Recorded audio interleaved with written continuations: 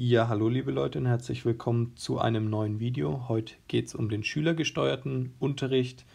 Ähm, ja, das ist ein Unterricht als individuell autonomer Steuerungsprozess, der ausschließlich von Schülerinnen und Schülern selbst gesteuert wird. Also der Schüler selber steuert hier den Unterricht.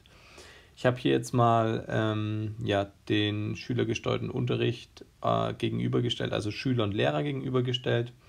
Wenn wir jetzt mal den Schüler hernehmen, dann läuft es so, also ein Schüler, wenn er einen Schülersteuer, äh, schülergesteuerten Unterricht, wenn der sich darin befindet, der Schüler, dann kann er zum Beispiel ein Referat vorbereiten oder er befindet sich in der Einzelarbeit.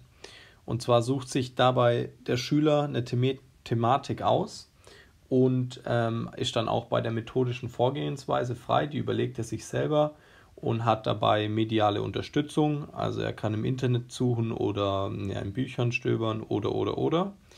Und dann muss er selber diese Ergebnisse, die er hat, eben überprüfen und anschließend präsentiert er diese zur Diskussion. Das wäre jetzt mal ein Beispiel, wie man das halt bei einem Referat machen könnte. Also man sucht sich ein Referat aus über ein Thema, das man unbedingt machen will. Dann kann man sich selber einteilen, wie man eben das Referat aufbaut ähm, welche Quellen man nimmt und dann muss man eben schauen, ob die Quellen auch stimmen, ob das alles passt und dann kann man das Referat präsentieren und dann kann man darüber reden.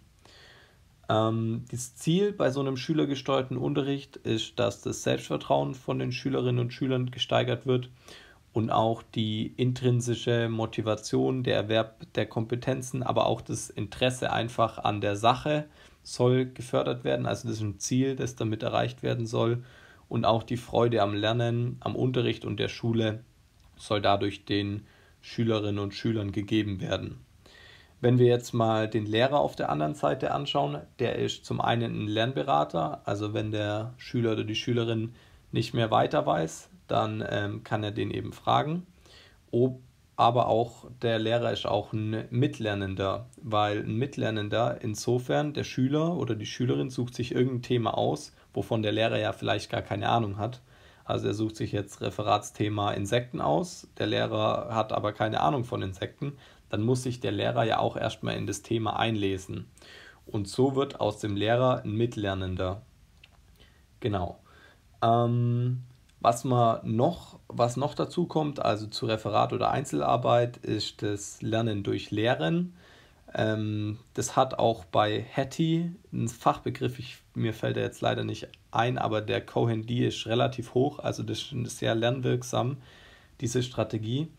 Ähm, zum Beispiel, wenn man jetzt eine Hausaufgabe bespricht, dann könnte es mal der Schüler oder die Schülerin übernehmen oder man könnte eine Diskussion machen und eine Schülerin äh, die leiten lassen oder auch eine Übung durchführen oder eine Aufgabe vorrechnen lassen. Also dass einfach mal der Schüler in den Lehrer schlüpft sozusagen und dadurch dann lernt, also Lernen durch Lehren.